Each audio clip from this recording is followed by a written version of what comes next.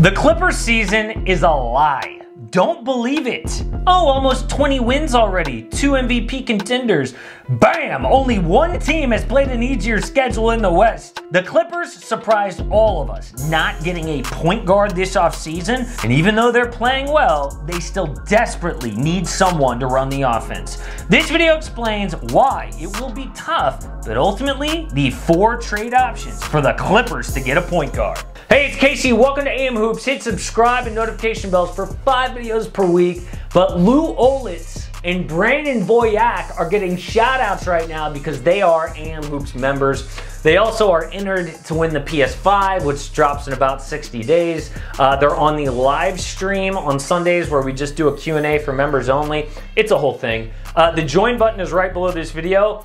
If not, all good. You still get five videos per week for free. And if you're a subscriber, you're entered to win a custom jersey any jersey you want. When the Clippers lost to the Nets last week, you could see the exact problem that blew the 3-1 lead to Denver. They just don't have anyone to initiate the offense, and there's almost no off-ball movement. Of course, it'll work sometimes. I mean, Kawhi and PG are elite ISO players, but this style is easy to defend against the best NBA defenses in the playoffs. This number will make you go, hmm. Things that make you go, hmm. The Clippers average under 25 assists as a team per game. That's eighth in the West. Their leader in assists, Paul George, with Kawhi Leonard just below him. And how does that style of play hurt them? 29th in clutch offense, next to last. PG and Kawhi are great, but they are not do-it-all players like LeBron James or Luka Doncic. They are being used in the wrong way again. And that fact should be a disturbing red flag to any Clipper fan, because if they lose, the franchise could spiral into a 10-year black hole. Kawhi could leave as a free agent this summer. He'll have so many options too, because he's like the only elite free agent out there. I think he will walk too if they're embarrassed in the playoffs again. The good news is you would think the Clippers front office knows all this. Then why didn't they get more aggressive last off season?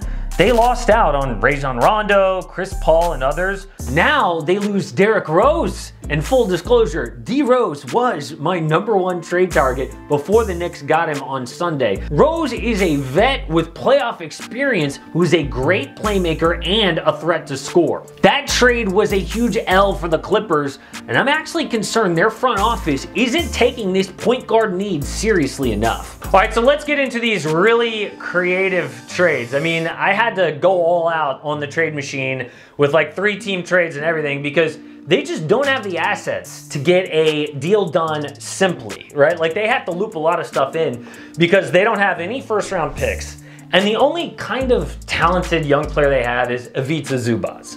So, trade number four, the Clippers trade Zubac and Terrence Mann for George Hill and Mike Muscala. This is the Thunder trading vets for one talented guy in Zubac and a flyer on Mann. For LA, George Hill can do it all. He's a better playmaker than what they have now, but he can also shoot the three and contribute on defense. He doesn't do anything at an elite level these days, but he would free up Kawhi and Paul George to do their thing. His skills and leadership put him on the Clippers list. Number three is Lonzo Ball to the Clippers with this insane three-team trade. The Pels get Anthony Simons from Portland, plus Terrence Mann and Cat Filler from LA. The Blazers get Zubac and two really high second-round picks. The Clippers, Lonzo, and Enes Kanter. The Pelicans deal Lonzo and get a young shooter in Simons.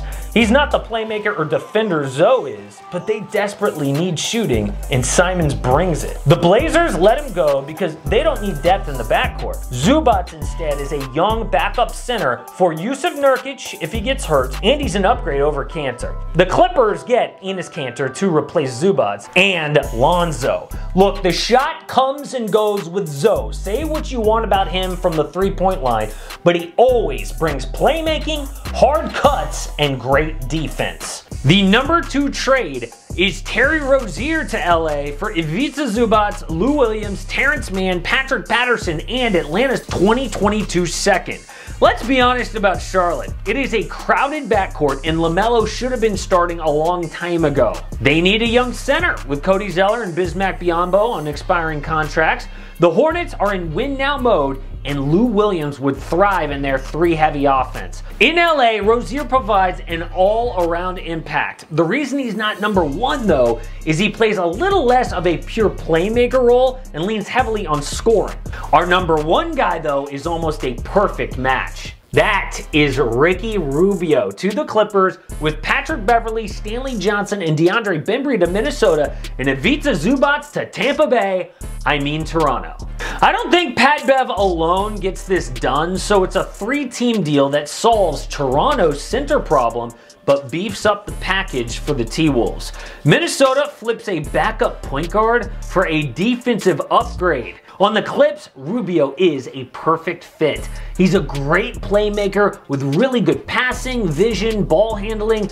On the flip side, do you know how frustrating it is to watch him pass up shots like this? Rubio gets the pass, driving the lane for the layup. Oh no, he kicks it out to a brick three. Yeah, that kind of play though doesn't matter on the Clippers. They have plenty of offense they need someone to initiate that offense, and there is no better target than the Spaniard himself. So those are the four trade targets. Notice you did not see Kyle Lowry, Victor Oladipo, or Eric Bledsoe. I don't believe the most beloved Raptor would be let go just for Ivica Zubac. What would they do with Lou Williams and Pat Beverley this season anyway?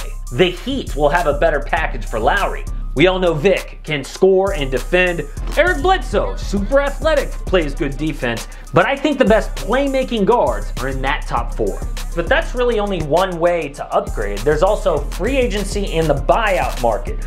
The issue is those two avenues are really thin. I mean, what they have to do is upgrade over Patrick Beverley and Reggie Jackson, right? I mean, last year, Darren Collison was almost a Laker, but he chose to stay retired it shows how tough it is to find a contributor in the buyout market or free agency at this point. The top free agent point guards, JJ Barea, Tim Frazier, and Jeremy Lin.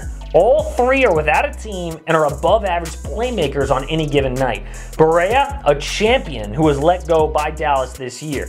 Frazier, I know he's a little small, undrafted in 2015, but he is a really smart passer and ball handler. Lin is in the G League bubble, but a new rule allows him to sign with any NBA team.